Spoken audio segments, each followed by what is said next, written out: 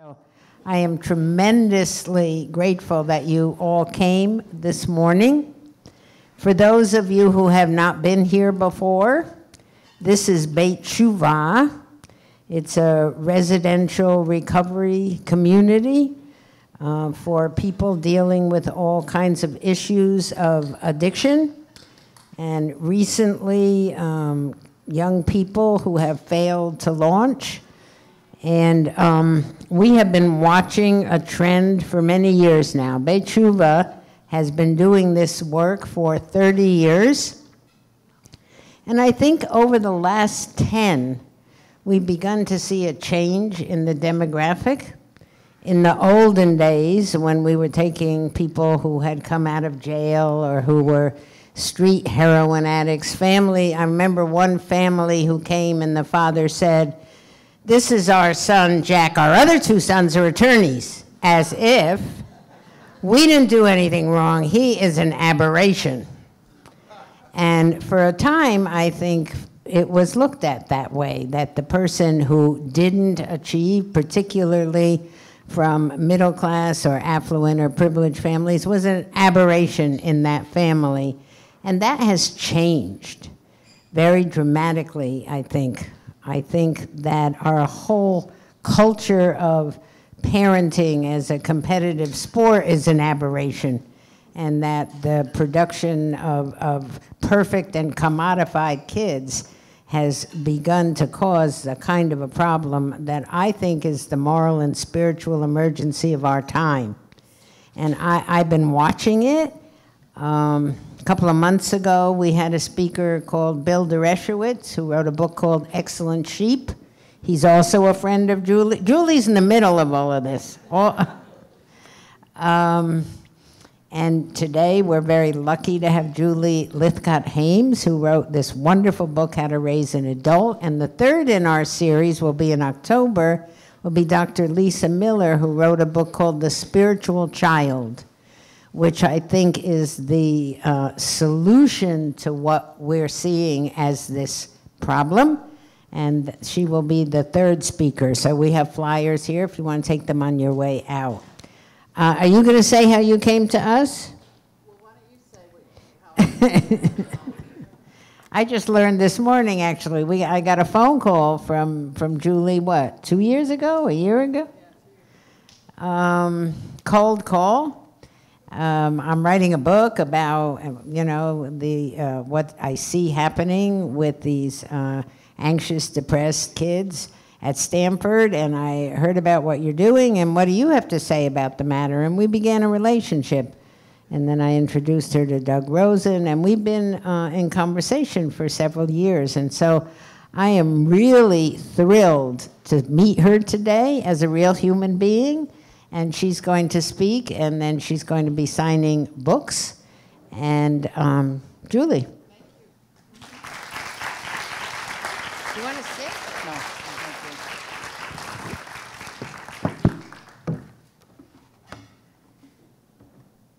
Should I get myself set up here?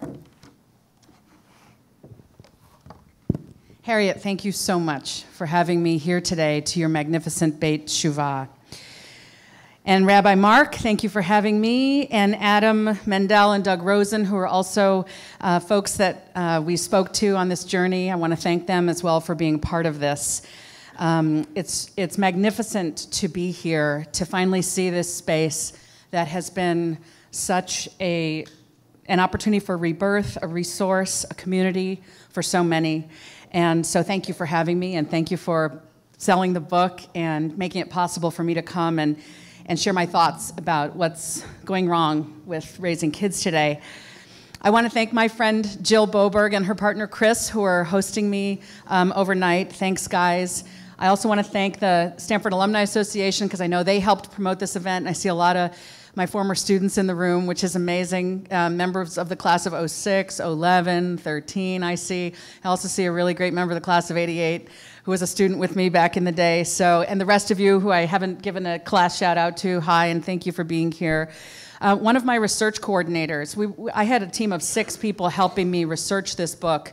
If you get the book, you'll see there are about 400 footnotes. There are about you know 10 pages of bibliography. There's meat here. I wanted, you know, strength and solid stuff underneath whatever stories and observations I was going to be sharing. So I had a fantastic research team, and Lee Marshall is here. Lee, raise your hand or stand up or something. Lee, um, I asked Lee to join me on this trip. She lives in the Bay Area, as I do, because she was um, on the phone with me as we interviewed Harriet and Adam and Doug and others um, in the Beit T'Shuvah community. Um, Lee was the one who really helped um, formulate um, our follow up and you know how to really um, make the most of what we were learning from you guys. So I wanted her to have the chance to be here and um, see this magnificent place and have you guys meet her. Um, to those of you who are strangers to me, parents, educators, members of this community, others who've given up a Sunday to come here for whatever reason, thank you for being here. Like you, I'm just trying to ensure that my kids are healthy and successful. Like you, I struggle. Like you, I worry, I wonder, I wish. We're in this together, all of us. So I welcome you. And finally, I want to give a special welcome to the members of my family who are here my sister in law, Carolyn West, my brother in law, David West, and my mother in law, Judith Haims, who I affectionately call Mama Judy. So, welcome to my family. And um, yes, please give, give them a round of applause. And I want you to remember that my mother in law is in the room, so clap extra loud when you're at the end. Normally, at an event like this, we'd ask you to put away your phones. But if I may humbly say so, with How to Raise an Adult, I aim to start a movement to try to push the pendulum back in the other direction, away from raising kids to be completely dependent upon us for protection, accustomed to our constant direction, and reliant upon us for help, and toward raising independent adults. And if the movement's not to be televised, then at least it can be socialized. So whip out those phones and use them. If you're on Facebook, ch- check in at Beit T'Shuvah and head over to my book's page, How to Raise an Adult, and like it too. Take a picture of yourself with the book later and post it. If you're on Twitter, our handle is at Raise an Adult. Live tweet this event, tweet your takeaways after. And if you're not a social media user, hi, Mama Judy. okay, yeah, put away your phone and make eye contact with me. That's a precious resource these days, and I'm going to cherish that too. We're here this morning to discuss my book, How to Raise an Adult, which, with its publication almost three months ago, has sort of branded me as somewhat of a parenting expert. But to be frank, I'm not so sure how I feel about that. I mean, I didn't set out to be a parenting expert. And for that matter, I'm not particularly interested in parenting. No. And now some of you are wondering, what the heck am I here for then? I thought she was going to talk about parenting. I got dragged here on a perfectly wonderful Sunday morning to hear a talk on parenting, some of you are thinking. But even at the risk of your disappointment and confusion, I'll say it again. I'm not interested in parenting per se. What I'm interested in is human beings. I believe in humans. I believe in all of us. You, me, you way over there in the back. I believe in all of us making our way in the world. I believe this not only for the sake of each individual, but for the sake of us all. I believe the world needs us, each one of us, to figure out who we are, what we're good at, what we love, what we value, and then to work very hard to be the very best version of that self we can muster. From my work with countless young adults, I've learned that having the courage to be who we are, regardless of what other people want or say, even parents, is the path to a meaningful and rewarding life. And so, I'm interested in what gets in the way of each of us being our best self, in the obstacles. And I'm interested in trying to do something about it. Now, I used to think the obstacles stemmed chiefly from otherness, outsiderness, from being on the margins due to family background, demographics, status, circumstance. And yes, of course, those things are obstacles, sometimes tremendous obstacles to a person's chances for becoming their best self. When I was freshman dean at Stanford, a position I held for 10 years, I presumed that students from those backgrounds would most need a caring, thoughtful dean, someone to believe in them when their background and family narrative collided with all that Stanford would ask and expect of them. And yes, some of my favorite moments as dean were indeed spent mentoring such students. But since I was expecting that the students who would most need my help would be the other, imagine how surprised I was to discover among my more affluent students a growing number who seemed to lack the ability to make their way independently in the world, as frankly, 18 to 22 year olds just used to be able to do, and just as crucially, used to desire to do. And I'm deliberately being vague about what exactly was missing in more and more of my students each year because, frankly, I couldn't quite tell at first. Something was just odd, off. It took most of my 10 years as dean before I figured out what exactly the problem was. For starters, each year my students were more and more and more and more accomplished. They had done so much. You know what I mean? Ha! Let's be real. You know exactly what I mean.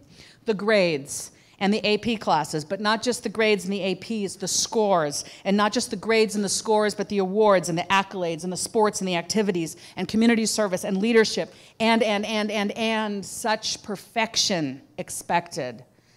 Yes, my students were so seemingly more and more accomplished each year, yet each year I noticed that more and more of them could tell you what they'd done, but not so much why they'd done it, other than to get into college. They could tell you what they'd achieved, but not so much about what mattered to them. These students were far more interesting to look at on paper than to talk with in person. Was any of this stuff really their passion? Did they even know what that word meant? Or was it just something someone said they needed in order to get into the quote unquote right college? Did they have a budding sense of self, or were they really just content to let their parents plan life for them? I believe in humans and seeing so many promising young adults walking a path of someone else's making, already a little burned out, kind of old before their time, perplexed me. As this was going on, each year brought more and more parents who came with their kid to college and stayed sometimes literally, but much more often virtually, to ask questions, select courses, activities, majors, internships, and careers, solve problems, handle conflict, defend and advocate for their student, register for classes, fill out applications, track deadlines, and call to wake them up. And to top it all off, my students weren't mortified when their parents did all of this. They were grateful. They communicated with a parent multiple times a day in the dorm, in the dining halls, in the student union, going to class, going to another class, going somewhere after class, in the lobby of the advising office where I worked, even in my office, or they tried to. Could we call my mom? They'd say, pulling out their phone sheepishly with a shrug. It'd be easier if we just got her on the phone. I believe in humans, so I thought to myself, something's not right. Is this college or middle school?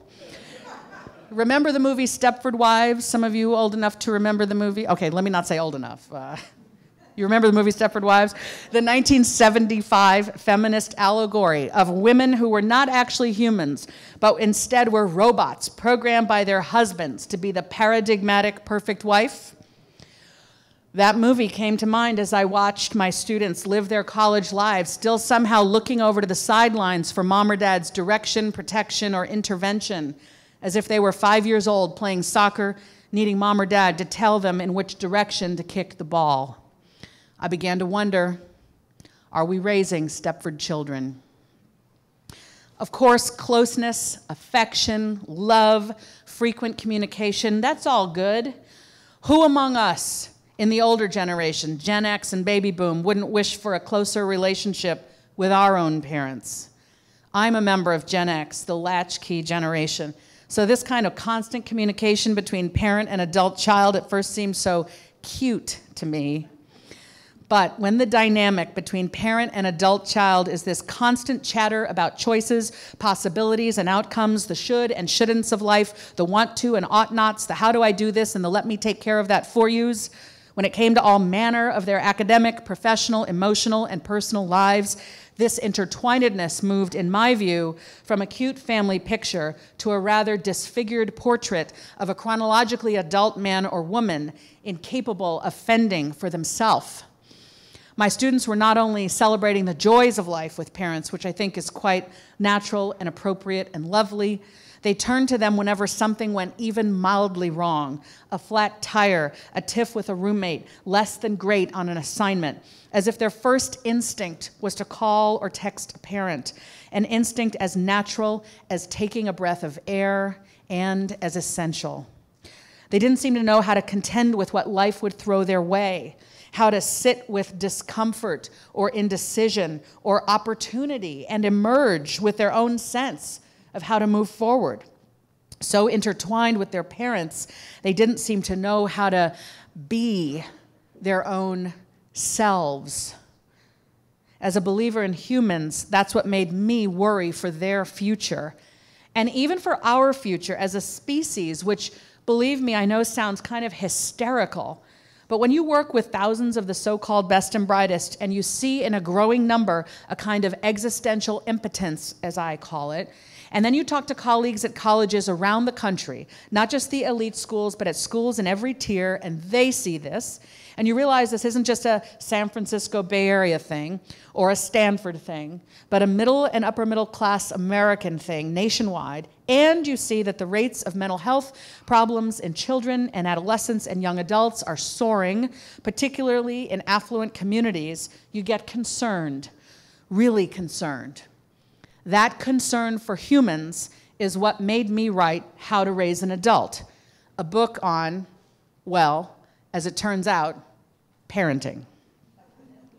What's going on with parenting? I was mortified to discover the answer staring back at me in the mirror one day. Every fall at freshman orientation, I'd give a talk to parents. The purpose of the talk was to embrace parents empathize with the big transition they were experiencing, and give some pretty direct advice. I'd say, trust your kid is capable of handling this. Trust the institution wants to do not as little as we can get away with, but as much as we possibly can. Now go home. I never actually wagged my finger at parents, but inside I was thinking, come on, folks, back off. This is college now. Go away. In 2009, the day after giving that annual speech, I came home from work, sat down for dinner, and reached over and began cutting my kids' meat. they were 8 and 10 at the time. They're now 14 and 16. And it was like all of a sudden I was being visited by Dickens's ghost of Christmas future or something. If you want your kid to be independent at 18, at some point you have to stop cutting their meat. I sat up straight. When do you stop cutting their meat? When do you stop looking both ways for them as they cross the street? When do you stop helping with their homework? When do you let them talk to strangers?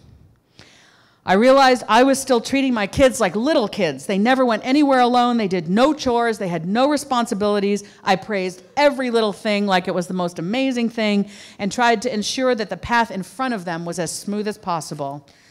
One day earlier, I'd been tisk tisking my students' parents about not being able to let go of their college age sons and daughters, only to realize I was fostering tremendous dependence in my own kids with no end to that in sight. Was I in danger of being one of those parents who couldn't let go when my kids were in college? What? Who? Me? That night, I realized I'd been given the rare gift of seeing the results of thousands of upbringings and childhoods in the form of other people's grown sons and daughters. Why was childhood no longer preparing so many kids for independent adulthood? Why were college students and 20 somethings now referring to themselves as kids? How would my generation pass the mantle of leadership on to such adults? How am I and countless other parents getting it so wrong? Because it's not as if we're not trying. God knows we are trying so very hard to get it right. For some perspective, let's go back to how it all began. In the beginning, our love is our umbilicus, our heartbeat, our body, and then our arms, our kiss, our breast. We bring them home to a sheltering roof, and we delight weeks later when they make that first intentional eye contact with us. We nurture early babbles into first words and applaud as they gain strength to roll over, to sit up, and to crawl.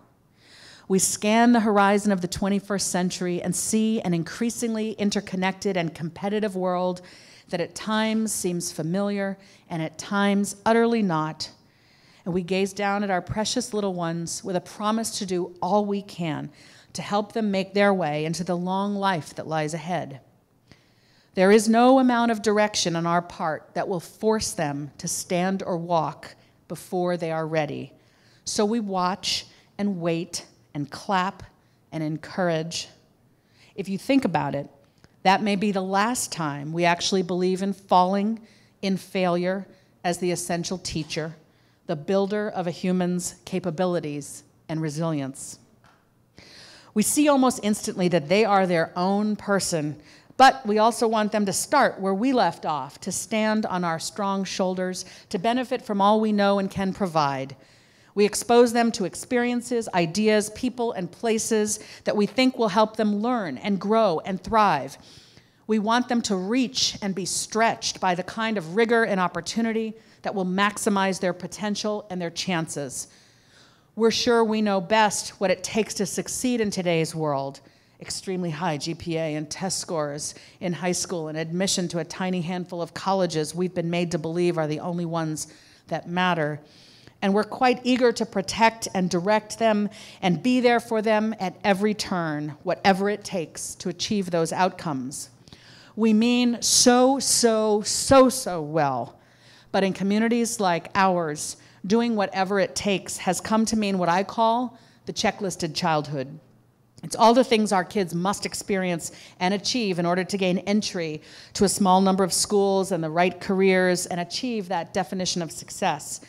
In furtherance of that, everything for our children is safe, selected, chosen, recommended, planned, decided, approved, improved, done, accomplished, handled, coached, figured out, fixed, arranged, solved, resolved, absolved, shaped, designed, orchestrated, and dreamed for them.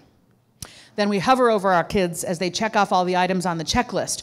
We keep them safe and sound and fed and watered. And when we see an obstacle in their path, we try to remove it, all the while encouraging them along toward that GPA, all those APs, the higher scores, accolades, and awards, nudging, cajoling, hinting, helping, haggling, nagging, as the case may be, to be sure they're not screwing up, not closing doors, not ruining their future, calling for help when needed in the form of tutors, coaches, handlers, extra spiffy coaches and handlers in order to improve the child in front of us. We say we just want them to be happy, but when they come home from school, what we ask first is about their grades and they see in our faces that approval, that love, that worth comes from taking more APs and getting A's. When the work is hard, we stand ever closer, running alongside with clucking praise like a trainer at the Westminster Dog Show, coaxing them to jump ever farther and soar ever higher, arguing and contending with the rule makers when they fall or fail, forcing them back on the path, using our own strength to boost their effort. Their ears are filled with our chirps of perfect, great job a rhetorical tick we use even when we don't mean it. And we commend them to our friends and with stickers on the backs of our cars. And also, we commend ourselves. Look what we've done. We did this amazing California mission project. We wrote this beautiful essay. We earned this GPA. We've gotten into this college. Right? Recognize any of that? I sure do. Thank you. In communities like ours, parents have the disposable time and income to do everything for our kids. And when I finally connected the dots between that dinner with parents of Stanford freshmen and what was happening at dinner in my own house, I realized parents can't just magically stop telling kids what to do and helping them do it in college if they've been behaving that way with their high school senior. And they can't magically stop with their high school senior if they were so involved with their high school junior, and so on. What I realized is childhood is meant to provide opportunities for them to gain more and more skills and independence, to try and fail, to learn to do and think for themselves. If only we'd let it, childhood would do that, but we don't. And I realize that this omnipresent overinvolvement of parents means kids may grow to be chronologically adult, but remain rather stunted, dependent on parents to do not only the planning and deciding of life, but the lovely, light, ethereal dreaming as well. Look, my book is called How to Raise an Adult, but it could just as easily have been called The Road to Hell. because we planned and paved our child's perfect path with the very best of intentions. But if you look at what we've done, if you have the courage to really look at it, you see that when we've walked so closely alongside our kids, when we've told them not only what to do with their lives, but how to do it, when we do the work for them when they struggle, and even when they aren't struggling, we just overhelp to ensure that they get that extra edge when we push, push, push, push, push, when we make them study a certain thing, shape their dreams, tell them who they must be to make us proud, we've actually undermined our kids' chance to make their own way. Too many playwrights and poets are forced into STEM. A teenager commits suicide, and his obituary includes his SAT score. And you know what the worst part of this is, besides how arrogant it is to force someone else's life path in a particular direction toward a particular college or career, how unethical it is to overhelp with their homework, how cruel it is to be a constant crutch that will not always be able to be there for them, how harmful it is to make them feel our love is conditioned on admission to a certain school. The worst part, unintended yet insidious, that results when we live right up in their heads all the time, they get this message Kid, I don't think you can do any of this without me. Trying to boost them up, we are paradoxically tearing them down. We overhelp so as not to disadvantage them, yet they're disadvantaged because we do so much. You're not good enough for this life as you are, is the message. You never will be. You can't make your own decisions. Be trusted with the task of being successful in life. You need me to direct and guide you. You will always need me. I believe in humans, and I have to tell you, we're smothering the life, the very sense of self out of our precious kids. Our job as parents is to put ourselves out of a job and raise our precious offspring to independence. We gave them life, but life is to be lived in order for them to become the beautifully unique individual they are, we have to let them be. We've succeeded as parents if our adult children can fend for themselves. And I looked it up. Fend means look after and provide for oneself without any help from others, not call your parents and have them fend for you. We're supposed to want that for them. But these days, too many of us seem sickly engaged by their need to constantly need us, which is a need, remember, that we manufactured. We've got to back off for our kids' sake, but also for our own. As I've said many times, I believe in humans, and guess what? That includes us parents too. Many of us spend our lives scheduled to the hilt between work and home, homework and homeroom, practice tests and practice fields, trying to keep up with the judgmental Joneses. Ours is an endless shuffle to a rehearsal, a practice, a tutoring session, an expert of some kind designed to make our kid better at something. We are on autopilot in our minivans, going through the motions, making the snacks, being on the committees, arguing with teachers, principals, coaches, and referees, serving as our kids' concierge, personal assistant, secretary, fearing our spouse's expectations, vaguely wondering when we'll get off the sidelines of soccer practice and start living our own rich, vibrant life again. Our morning medication is caffeine, our evening medication is wine. Long, long, long gone are the days of throwing open the back door and saying, Get out there and play, I'll call you for dinner. There are no wide open doors, or afternoons for that matter. and no one is home to play. If you're a boomer or Gen X, that's ancient history. If you're a millennial, it sounds like fiction. No, there's no time for that. No room. There's only the schedule and the drop off and the pickup, and some semblance of that family dinner we know we're supposed to have, and then the homework until some set of us plus them is exhausted. Sleep, repeat. When I was writing How to Raise an Adult, a mom in my community pulled me aside at a meeting and pleaded, When did childhood get so stressful? I put my hand on her shoulder, and as tears slowly filled her eyes, another mother who had overheard us nodded her head and walked toward us. And the second mother then said, Do you know how many moms in our community are medicated for anxiety? I didn't know the answer to either question, but a growing number of conversations like this with parents like these became another reason to write my book. I believe in humans in all of us, and I guess you could say that my role as a college dean afforded me a view of the future that frightened me. And now I'm running back to warn you, all of us, that this overly protective, overly directive, overly hand holding approach to parenting is harmful to kids, to parents, and to us all. I'm here with this book and this rhetoric and this book tour and some kind of authority that comes from it all. But did you really need me to say any of this to you? No. You know it. We all know it. We hear about 20 somethings, even 30 somethings failing to launch. We see our children withering under the pressure of the checklisted childhood, growing up in the scaffolding of our expectations. We feel ourselves struggling to do all that parents have to do these days to ensure the checklist is adhered to. We remember our own freer childhoods lived not that long ago, and we imagine a different, saner way for our own kids and ourselves perhaps elsewhere. I don't know, Wyoming.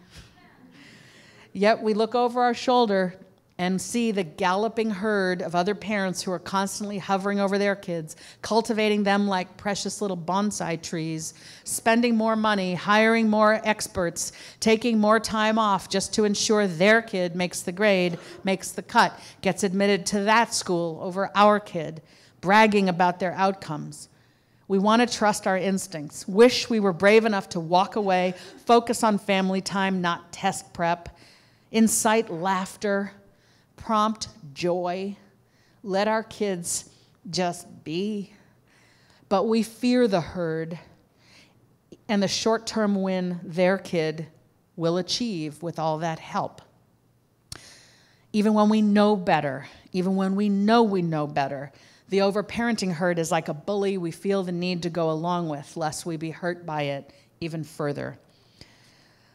We parents love our children with a driving force, an aching, fierce terror joy we can barely begin to understand. It is the most humbling, precious task, a bewildering task to raise another human. Ten years ago, when I wrote my first piece on the harm of overparenting, I was just a college dean with a whole lot of compassion for young adults and a mounting concern that something was just not right. Ten years later, there is abundant evidence from study after study from the field of psychology that our overprotection, overdirection, and excessive handholding harms kids, deprives them of life skills, renders them less capable in the workplace, and leads to much higher rates of anxiety and depression. According to a very recent study of 100,000 college students from 153 campuses, including all the schools you've heard of and many you have not, 100,000 college students reported 84.3% said they were overwhelmed by all they had to do. That's more than three quarters of 100,000 college students. 60.5% were very sad, 57% were very lonely, 51.3% felt overwhelming anxiety, 46.5%, just under one half, felt things were hopeless. Remember, this was from kids all over tiers one, two, and three, large universities, small colleges, east, west, north, and south. It's not just those who get into and attend the most elite schools. There's an unhealthy amount of pressure and stress in childhood, itself today, everywhere, it seems. Nobody knows that better than Harriet Rosetto and her team here at Beit T'Shuvah, who themselves have conducted research which indicates that the rates of anxiety and depression are higher in affluent kids than in juvenile delinquents who tend to be at the other end of the socioeconomic spectrum. I spoke to a set of high school juniors the other day. I told them that I'd be talking to their parents that night and asked them what they wanted me to tell them. They were silent for minutes. It's uncomfortable to be a speaker behind a podium with 350 kids in front of you, not responding to your question. And I kept saying, It's okay, I won't tell them, I won't attach the name to the comment, you know. And then finally I said, I know you're feeling maybe embarrassed or ashamed or whatever about, you know, this thing that you want me to tell your parents by way of what they can do or should stop doing to support you. But I promise you there are other people in the room who feel that way. Then one brave kid raised his hand, and I called on him, and he stood up and he said, Please tell them that the brand name of the school isn't as important as they think. And the entire auditorium of 350 kids burst into applause. And that had opened the door. So then the comments were please tell them you don't have to worry about every little thing. Tell them it's scary. I put pressure on myself. I don't need more from you. One kid said, I have no social life, but I need one. Another said, You don't always hear us. Another said, Start believing in me and not comparing me to others. The mother in me just ached when they said this, these strangers, these kids. We can and must do better. Look, there's a lot wrong in society.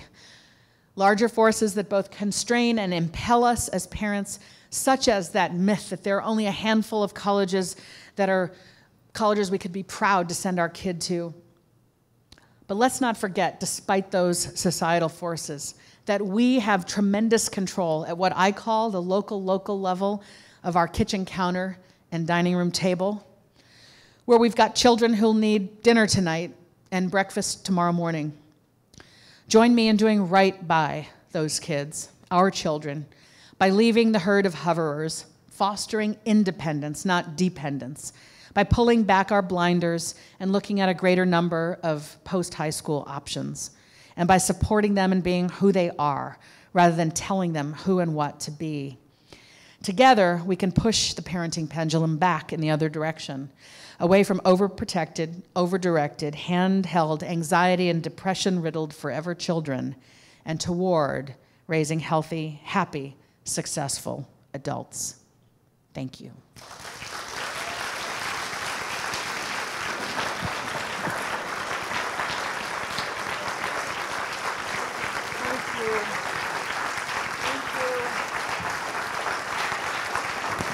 Thank you so much, you guys. Thank you. Rabbi Mark.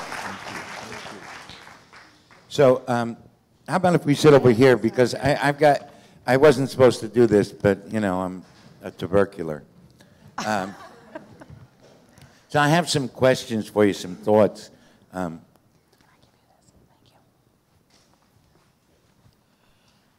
I'm, I'm a divorced parent, and, and um, made quite a few mistakes with my daughter. Uh, I guess the only good thing I did was that um, I got her so angry that she wouldn't let me hover. Mm-hmm. right? So I, I, was listening to you and I was struck. Um, in Judaism, I, I, um, when a child is born, you don't say the name right away. You have to um, pick their Hebrew name based on looking into their eyes and seeing the trait of their soul that is so prominent, and then um, either naming him for that trait or naming him after somebody who has passed, has passed away and, and for that person. And I've said for years that that's the last time we go to raise our children's souls. Mm. So to me, what you were talking about is, is this whole sense of, of spirit and, and how are you doing with your kids now? How am I doing with mine? Yeah. Well, first of all, thank you for that um, beautiful comment and that beautiful thought. Um, I didn't mention that my husband's family is Jewish, and um, so I've come to know and appreciate and love tenets of the Jewish faith, thanks to my mother in law and um, extended family. Um, so it's lovely to hear you say that. Um, you know, that bonsai tree metaphor that I used earlier has really been in my mind. I realize that when we're so certain that we know what they should be and should study and do, we're essentially pruning them, we're clipping them, not only to prompt growth, you know, which is healthy, but to shape them into a, a state we imagine. And to this issue of soul, um, to this notion of they are their own human, and it is actually my responsibility and my privilege to get to be in their lives and nourish them and help them make their way. I've started seeing my own kids more as wildflowers of an unknown genus or species. I don't know when they bloom, you know, what they'll look like, but it's my job to provide the environment, you know, so they have the, nu- the nutrients, the environment, the support to become themselves. And I really do mean that in a soul sense, in a spiritual sense. Um, you know, working with tens of thousands of, of young people, I saw those who were thriving. You know, my, my talk is about those who were hovered over and who didn't have the capacity to be adult in their own lives. But, you know, the other set of them, each year diminishing in number, had the wherewithal, had a sense of self. They weren't perfect, that's not the point.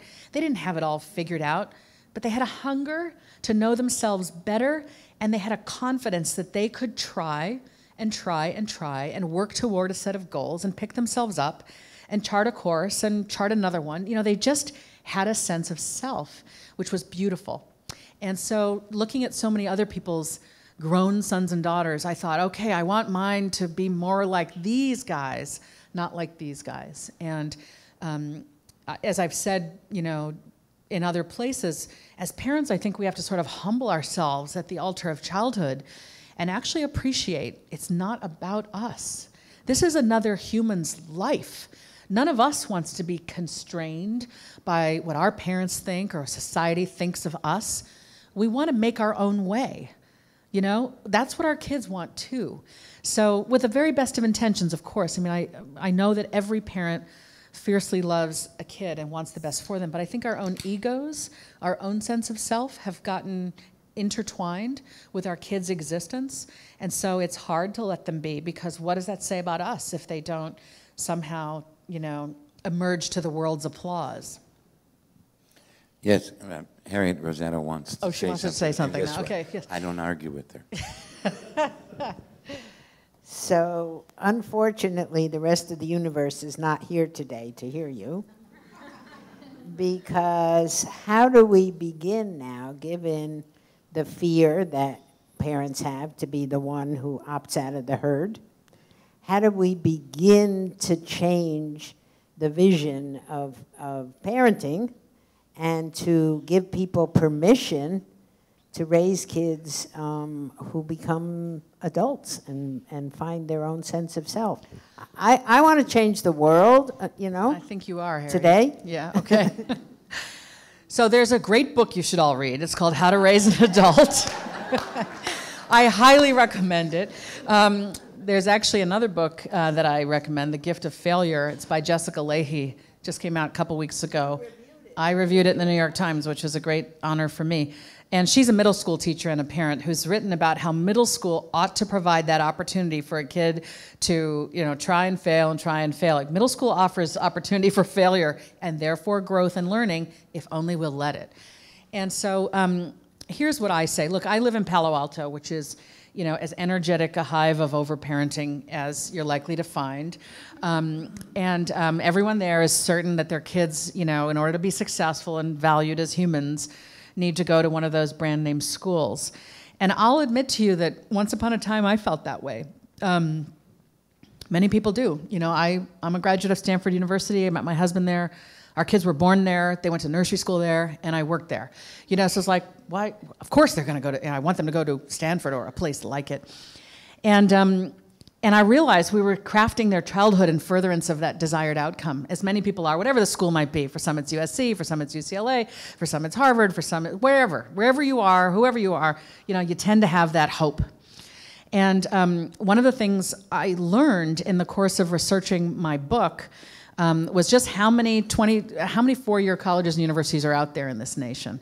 You know, U.S. News and World Report would have us believe it's about this many, and um, they make a lot of money every year uh, feeding on our fears. They are the equivalent in their franchise that that college um, rankings issue is the equivalent of Sports Illustrated swimsuit issue when it comes to being the one issue on which the entire franchise rests financially. This is true. Gwen Ifill has said it on PBS, and I believe Gwen Ifill. Um, okay, so the point is there are 2,800 accredited four year colleges and universities, and as in this nation, not to mention great community colleges. And I'd wager that, as with anything, the top 5% are probably magnificent. That's 140 schools that are offering a fantastic education where we can feel confident our sons and daughters are getting great teaching, access, you know, to a fantastic undergraduate experience.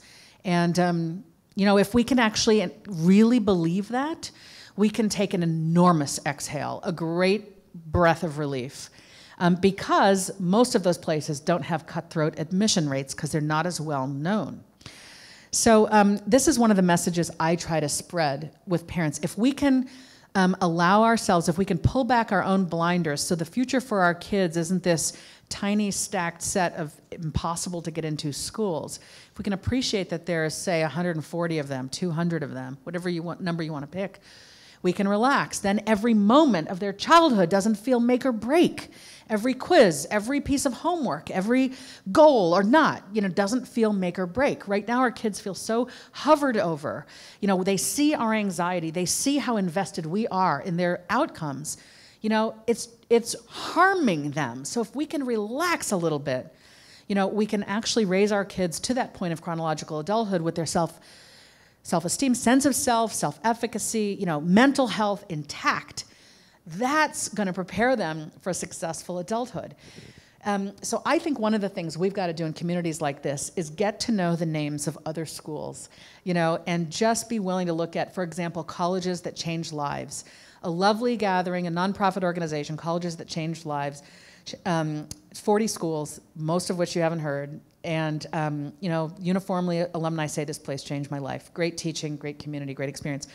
Um, you know, there's a great resource called the Alumni Factor that looks not at the incoming SAT scores and high school GPA of freshmen, but something much more useful, like what, what have the alumni gone on to do in terms of their financial success, their professional accomplishments, their sense of happiness, their delight with their personal relationships, you know, and it's a great measure of what alumni have actually experienced in life, the alumni factor. So those are two great resources that I think can open our eyes and help us pull the blinders back. Um, but even knowing that, I didn't actually, I still was one of those, well, but wouldn't it be nice if they went to Stanford kind of people. And with a 5.02 admission rate, right? Yes, we should laugh because it is absurd. Um, it's just horrendous. And um, I was speaking with a woman named Sidonia Dalby, Sid, she goes by. She lives in Northampton, Massachusetts. She's an admissions officer at Smith College um, which is an all women's um, um, school. And it's up there with Hampshire and UMass Amherst and Amherst and Mount Holyoke. And she gives talks in her community about college admission. And she says to people, I know many of you are certain you want your kid to go to this, that, and the other school. But let me ask you this if there's a 5 to 10% chance of rain, do you take an umbrella? Mm-mm. 5 to 10% chance of rain, you're not going to take an umbrella, you're not going to take a raincoat. Why? Because you know those odds, you know, are not going to pan out, right? But when there's a 5 to 10% chance of admission, as is the case now at about 20 schools, somehow we think those odds will eventuate in our kids' favor. Why is that? It's completely irrational. When Sid Dalby said this to me, I was interviewing her for my book, all of a sudden I got it and realized okay, steering my kid toward that expectation, this is sort of like winning an education lottery. You know, first of all, there are plenty more schools. I know as an educator, you can get a great education, often a better education at the very small liberal arts colleges, not the big universities with the biggest brand name. Okay? If I'm steering my kids toward that, and that's how I appear to be happy when they're, you know, if they make that, then I'm thrilled. You know, they feel like utter failure if they haven't achieved it. You know, why am I doing that to my kids? If they want that and get in and that's where they want to go, um, fantastic. But good for them. But let's not steer childhood toward that really unlikely um, eventual result. Once Sidonia Dalby said that to me, I was able to authentically embrace that. You know, I want my kids to not have a hellish junior year, to not have a high school experience that burns them out in furtherance of the 4.297, whatever. You know, all of those APs. I was able to finally get it because of what Sid said. And I think in communities like ours, if we can embrace that, we can help, we can back off and let our kids grow to be who they're meant to be. Okay, so we're going to open it up for some other questions. Um, all you have to do is go over to the microphone. Um, okay, I have two questions. Hi, what's your name? Michelle Good. Hi, Michelle. I have a 14 year old and a 10 year old that go to a very high pressured private school. Okay. I have, a, I have Yeah, two kids that go to a um, school that you've heard of, very, a lot of pressure. So my questions are, the first one is, can, because there's such expectations, can't the colleges not expect so much? Then the high schools won't expect so much, and these kids, it gives them a little bit less pressure? Yeah. Is that, that's my first question. Let me address that, Michelle. Um, wouldn't it be nice if they magically did this? Um, I know that college admissions officers are rather mortified at how horrendous it's become. Every year they've just been delighted. Wow, kids are more and more accomplished. They're more and more high achieving. They haven't, you know, if they look, you know, every year it's been incremental, but if they look back 20 years, it's sort of absurd that it used to take this to get in, you know, and now to get into that same place, it takes this. And yet kids are still only 17 or 18, and they're still only 168 hours in every week. We haven't changed that, yet we're expecting so much more of our kids. No wonder they're burned out and losing their minds. So I know those good folks are interested in what they can do to signal different things. But the fact is, so maybe they could say, we're going to cap the number of APs we'll look at. You can take 10, but we'll only look at four, or whatever it might be. Or kids don't even have a, some kids don't Some- even have a chance. no, exactly. Um, so maybe they can figure out better ways to actually evaluate a kid. But here's what I'm going to tell you: they're still only going to have a few thousand spots or fewer in their class, and there's still going to be tens of thousands of kids applying. So what we've got to do is, even if they do change, you know, the, the odds of our, our kid might be more likely to be admitted if, if they tweak their admission process.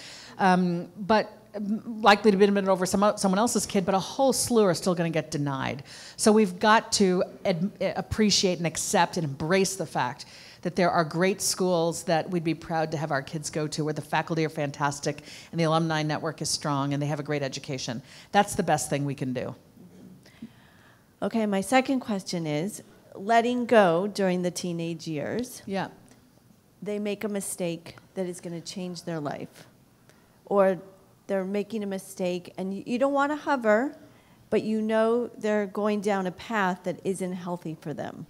So if it's a health and safety issue, uh, you know, that's when we really need to trust our gut, trust our instincts, intervene, do something. And you have experts here who can say far more on the subject than I can. But very often we think something is going to ruin their lives when what we really mean is they're not going to get into the right college or, you know, some door of opportunity will be foreclosed to them in the future. And this is where I kind of come back to Rabbi Mark's you know, initial comment, which is the, they are their own person. And whatever dreams we have for them, it really ought to be more about their character and the way they can behave with other humans rather than the actual job they'll have or the actual salary they'll have. Create an expectation that, you know, they can work hard, persevere, be kind to others. Those are the traits and capacities that are going to help them find, uh, you know, friendship and love, and help them find a job and move up the ladder. You know, it's really not about the more specific things that we're certain will lead to success. So, So I think it comes down to is this a character issue? Is this about, you know, they're slacking off? They're just little, you know, entitled slackers and I'm annoyed with that and I got to do something about it? You know, or they're not they don't know how to be kind in the world. They don't know how to be with other humans.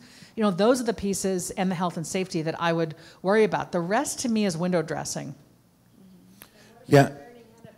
Right, I think that that's a, a a big part of this is, Thank is that. that, um, so when I was growing up, back in the day, As they say. we played baseball in the street. And if you, uh, um, I mean, we slid on the, on the asphalt of the street, you know what I mean? To, to, um, Right. So, so we were always having scrapes and, and everything, and um, what happened, wa- i- if any of us went home crying to the parent, Yeah. whoever's parent, they would look at us and they'd say, what are you doing here? Go back out and keep playing. Yeah. And um, so I think a big piece of this is that um, colleges, parents, society has forgotten that failing forward is where it's at. Absolutely. And it, it, there's an irony in Silicon Valley because the whole ethos of Silicon Valley is failure way forward. You know, we get to these great, you know, entrepreneurial technological inventions by just trying and failing and trying and failing and trying again. Um, and yet, parents who themselves are highly successful are trying to engineer the failure out of their own kids' lives, forgetting that it's the essential teacher. Um, yes, thank you, Harriet, for shouting that out. I, I overlooked that really important piece. Um, failure is actually, you know, how a human learns and grows. It is absolutely essential. And when they have had a childhood devoid of failure because mom or dad have been there to smooth the path and intervene and fix it, um, they get to college and they experience failure in the form of a B or a C or worse, and their world shatters because they have no coping skills because it's never happened before. And now they feel that they're the only one, they're anomalous. They're the only ones in this rarefied environment now, college, that are you know not quite perfect. And so we just it completely messes with a healthy construction of self if you know we don't permit childhood to um, you know throw curveballs at them. Right. Hi. Um, I don't know if you noticed, but I'm nodding I vigorously at everything. I appreciated I'm a, it. I'm a dean and college counselor at one of those schools, and every single thing you said resonated. Every single thing, and I, I guess my question is, how do we at institutions that have an opportunity to? I mean, we we give failure opportunities wherever we can, but at the same time what do you tell schools to uh, how can we help i realize that parents are parents but Yeah. we have a parenting responsibility as well whether it's to help the parents parent or help Yep. the kids learn Yeah. what what's the message Yeah. that you give to schools I didn't catch your name. sharon Sharon. Cusio. Nice to meet you. Um, I think schools are desperate for help in this regard. Parents are helping too much with homework. Schools know it, teachers know it. Guess what? Your teacher, your kid's teacher doesn't know what your kid actually knows if you're correcting their math or rewriting their essay. So, you know, it's like remember, you've been in 4th grade. It's your kid's turn. You've been an 8th grader. It's your kid's turn, okay? Don't do the work for them. You think it's going to help them achieve the better grade, and it might, but they don't learn it for themselves. They end up this sort of manufactured person who's got this message in their head I'm not actually capable of being an eighth grader without my mom or dad doing the work for and with me. So I think we, as schools and school districts, um, to adopt a policy, you know, that is embracing of this development of a human, which is humans need to do for themselves. To develop self efficacy, this foundational concept in psychology, humans have to see how their own behavior results in outcomes and then work toward you know greater accomplishment and even mastery and when a parent gets in the way it gets in the way so kind of at the philosophical level embracing your role as educators to say you know at the start of the school year to say to embrace in your materials and your website this is how we believe you know children grow and develop. And that means parents you got to sit on your hands you got to bite your tongue you know trust that your kid can have the tough conversation with the teacher. Trust that your kid you know will make mistakes and the teacher is there to teach them and that's how they learn and they will improve over time. You know essentially stop stop thinking we are in this fourth grade this eighth grade this 12th grade let your kid be that person. But you know another thing the schools have to do and you've not said the name of the school but you've said it's one everybody knows. You know you guys schools like yours are really interested in the colleges your graduates get into. Your own success is measured by how many kids got into this school and how many got into that school, right? You're prouder to say this and that instead of this. And that's got to change as well. Right. And that's hard. And, No. you know, that's a community conversation for you guys. that's- and I think g- going to the mental health stats and seeing actually this over hovered, over scheduled, you know, test prepped up the wazoo, highest GPA at all costs childhood might lead to admission to that place. But, what's- it's what's under the cost? It harms them. They are harmed, and we mustn't take these chances with our kids' mental health. Yeah. And Yeah.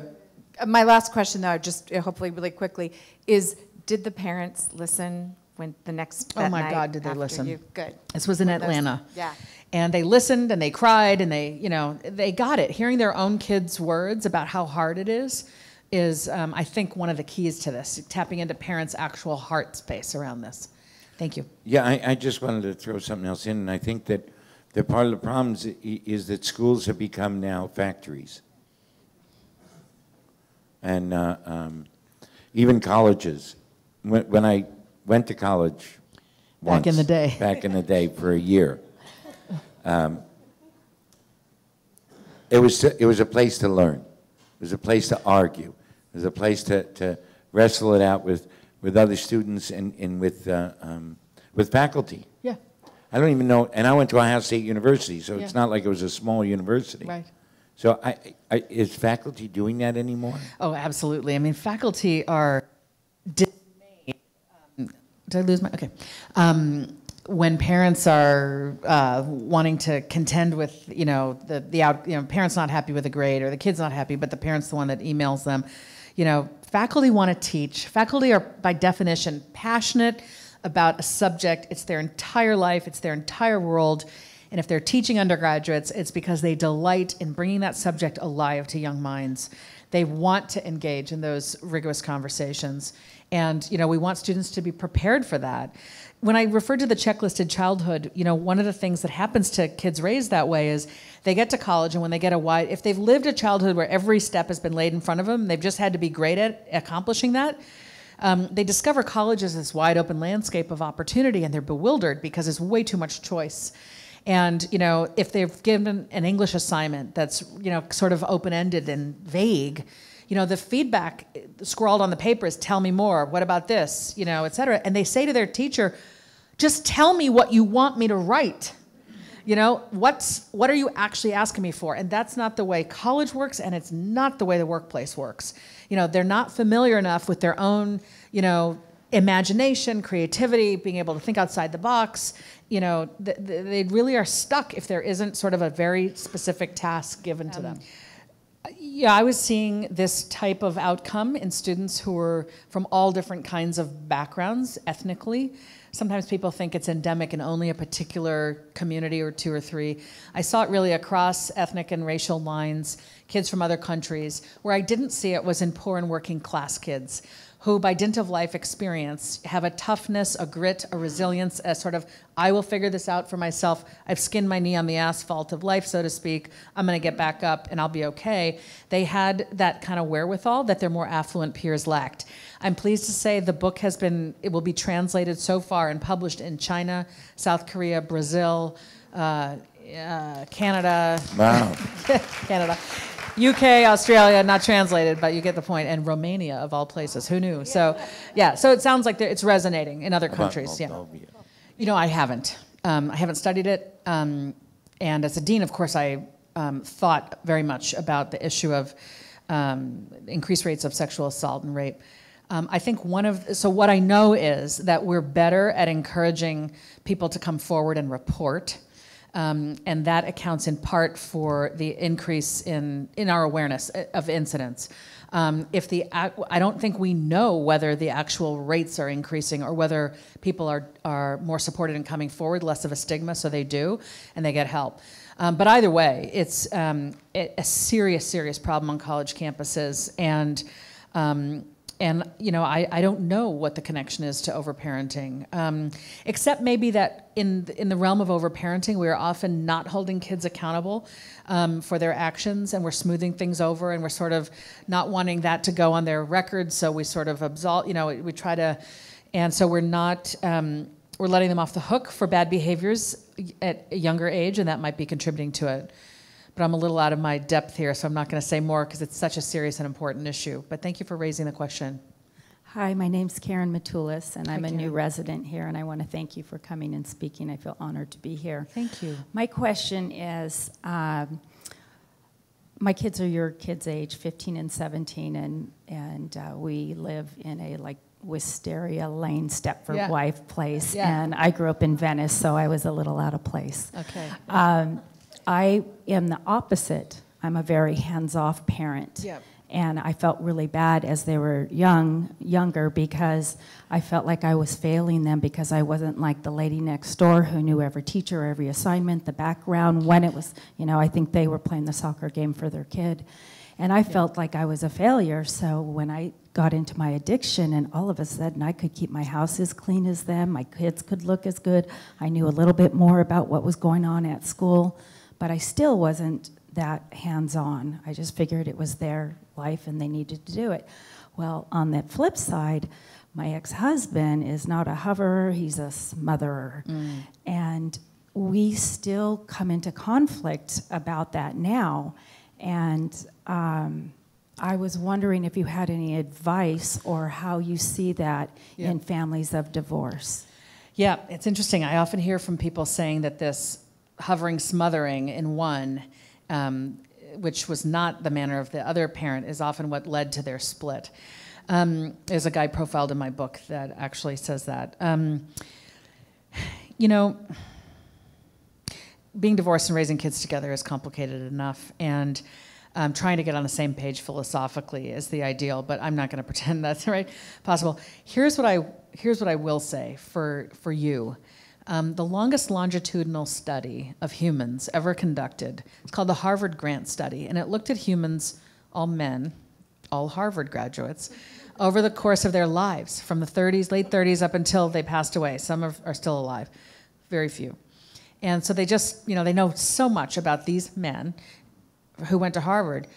They weren't all professionally successful. They weren't all happy. It was a lovely way of showing it. It's not just a brand name of the school you go to, you know, or whatever door is open for you. No, uh-uh.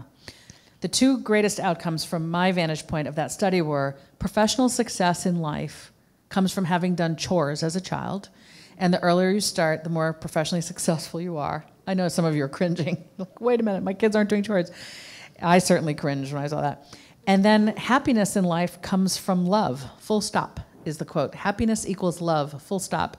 And that means the quality of our interpersonal relationships with our partner, our spouse, you know, our family, our, our friends. The extent to which we have love in life is the greatest predictor of whether we'll say we've, we're happy. And professional success comes from chores. So to me, it comes down to love and chores. And what school they go to and what they study and the grades they get and what career they have and the salary they have is all sort of window dressing on their lives. That's what I mean by window dressing. You know, so as parents, it's like, are they doing chore? Are they helping out? Why? That develops the pitch in mindset. Not that I'm entitled, I don't have to do the yucky stuff, but no, you're part of this family or you're part of this workplace or you live in this house with five roommates. You know, you pitch in, you do the work of life. You're useful to others. You can make your own way and clean up after yourself. Be kind to others. You know, that's actually what matters. You know, so Yeah, at my house they do chores. His house, no. no. Well, Okay, we have time for five more questions. five. Okay. And then, um, and then we're going to sign books. Great, excellent. Uh, hi, my name is Beth Slattery, and like my friend Sharon, I am a dean and college counselor at a fancy private school, and uh, mother of four, and um, and also a former college admission officer. So all this stuff is like just get it. fascinating to Yep. me. Yeah. Yep. Um, uh, the comment that I wanted to make is really uh what parents don't understand. I think about what this does to their relationship with their child Mm. because we watch as kids text their usually moms the second they get a B plus um, and the tragedy of the B plus and um, and what they don't realize is that as time goes on those kids are actually growing in resentment to their parents. They actually, parents think they're close to their child because they're in constant contact. Yep. But those children are starting to feel infantilized. They're feeling incapable. And, um, and they're angry and they're coming into our offices and telling us how angry they are with their parents. Yep. Um, and the parents have no idea. And I honestly saw it in my own life with my oldest child, who's now 16. When he was in fifth grade, um, he started coming home and talking about um, worrying about what grades he got. And so he's in fifth grade, and he's um, and I would drop him off at school, and he would come back to the car two and three times. Are you sure I got all my homework done? Are you sure I did everything? Did I definitely do everything? Um, and then he started talking about. I started thinking about what would happen if I stopped our car on train tracks. Okay. And when you have a fifth grader who's saying that, Yeah. and I thought I was being just an invested parent when I asked him. What'd you get on that test, or how'd you do in school today? Right. I also thought that life is linear, that if you, like mine, if you do well in school and you go to a good college, then you get happiness. Well, that actually isn't what created happiness in my life, No. Mm. but it was linear. And so when that happened, because I work at a school Yep. and had resources, we got him some help. Yeah. And when my ex-husband and I, we realized we got our kid back and we said, never again. Yep. And now I have a 16-year-old that my friend Sharon can attest to is the easiest, loveliest, happiest kid who tells me when he likes a girl, Yep. who the last time when he failed a, a Spanish final, I mean, when he got a D in a Spanish final last year, said to me, at least it wasn't an F. Yeah. And I said, you're right, at least it wasn't an F. Yeah. Um, and when Yeah. that's the reaction that he knows he's getting from me, Yep. it worked. And. I just have to say to parents, I understand that the compulsion, but you will get your child back. Beth, thank you for that was a testimony. Thank you for that. and you. Um, you know, but here's the thing. So Beth had her kid utter these horrifying words, and I come from Palo Alto, where, where at my kid's high school we've just had our second suicide cluster in six years. Gunn High School, G-U-N-N, um, is a high school where teenagers have decided to jump in front of the Caltrain, and um, you know we don't. So you were faced with this sort of predecessor to that moment, the thought articulated, and you pivoted. Now, the rest of us have to try to find the guts to pivot instead of pretend, oh, it's not going to be that bad. Pivot sooner so it doesn't even come to that. Like, hear this testimony and say, like, my goodness, you know, yes. And your point about your kid thinks you thought, oh, happiness was, I just took this linear path to happiness. You realize, uh uh that's not why you're happy. And many of us have not had a linear path. Many of our paths have gone like this, but our kids don't know it. They just see the job we have and how good we feel and so on, and they think we've been perfect all our lives, which, you know, for the vast majority of us isn't true. And if you ask yourself, like, why am I expecting my kid to be so damn perfect? Because I sure wasn't. You know, why? Why? So thank you for that, Beth. Thank you for sharing. I'm sure many people in this room benefited from that. All right, I know this next person because he's Zachary Warmer, class of 11 at Stanford. Good Hi, to see you, Dean Julie. Nice to see you, Zach. Just wanted to say either your either Gunn or Stanford, what would you say the tangible effects upon the institutions? Just sort of watching over a multi kind of several years of this kind of going on. You know, the effect on the institutions is we all need more mental health professionals and bigger facilities eh, in which they can work, okay? I mean, you know, at Stanford it's called Vaden Student Health. Every college campus has some kind of student health center. And, you know, ours was just overwhelmed with the workload. And, you know, they needed more humans to do the work of helping young adults. And, you know, and high schools need that as well. And of course, we have to destigmatize mental health at you know many places oh you can't admit you're depressed or you're worried or you're anxious or you're lonely or you're sad you know we have to you know it's the it's the positive psychology movement. It's brene brown and it's martin seligman and it's you know all these people who can teach us about we're vulnerable we're humans. We fail we suffer so what? That's where we actually are, are at our most real. We're at our most authentic and connect with other humans if we can actually admit, you know, to these, you know, difficulties, if you will, actually the raw, gooey inside of ourselves. That's actually where we're able to have meaningful connections. So if we can, look, we're in California, we ought to be able to embrace this here before the rest of the nation. You know, I mean, the, that's what we need. Can, can I just suggest that maybe, maybe you're, you're, you're naming it wrong? Go ahead. That it's not mental health. It's health. It's, it's health, but it's also a spiritual health. I- I, mean, I'm, okay. I'm pushing this because Yeah. mental health is going to, let me give you Sure. the pill. Right. I, I Right. have the pill that's Right. going to make you feel okay. exactly. It's all in the brain. Right. But this is, you're not No. talking about a brain No, disease no, no, no. here. Actually, you're exactly right. So Applaud, I'm applaud suggesting. Rabbi Mark. Absolutely. No, no, that's right. Yes. I'm suggesting Yes. that Stanford should set the standard in having spiritual and and mental health, okay, spiritual health, mental health, emotional health, Yep. and integrate it. Yes. And we actually Yes. have a blueprint for that. Excellent. Okay, so you're going to give that to me. I don't work there anymore. I left three years ago, but they'll be delighted to hear what I think. I'm sure. Um, here's No, I mean, they, I, I mean, actually I are. mean, They're- seriously. exactly. So it- it is a combination. It is totally a combination. Look, we all humans, whomever we are, whatever our gender, race, ethnicity, religion, or not, you know, our station in life, we all want to be seen We all want to be valued for who we are. We all just want to know we matter.